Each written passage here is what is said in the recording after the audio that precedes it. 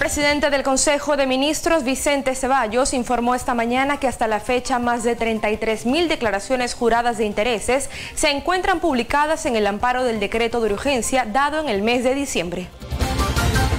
La policía y la fiscalía intervienen en esos momentos sorpresivamente en la municipalidad de San Martín de Porres por presuntas irregularidades en la adquisición de canastas.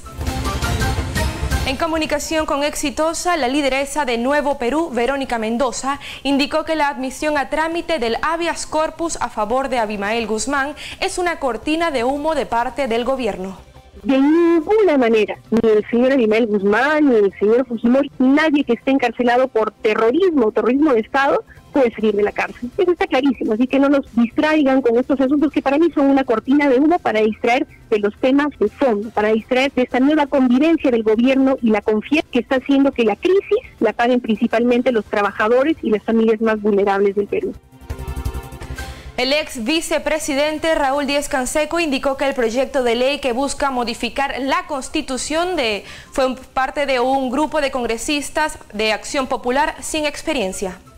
Y por lo tanto lo que tenemos es gente sin experiencia y todo esto trae como consecuencia que muchos de ellos, que por falta de experiencia, de, por falta de coordinación, eh, presentan proyectos que buscan el aplauso fácil y no se están dando cuenta que vivimos una situación de emergencia en el país sin que hacer medidas populistas lo único que va a traer es mayor desgracia. Al que algunos parlamentarios que tienen poco tiempo en el partido y que no tienen ninguna experiencia y que no han tenido tiempo ni siquiera ser asesorados porque así vino una cosa tan precipitada, es lo que nos ha traído como consecuencia esta situación.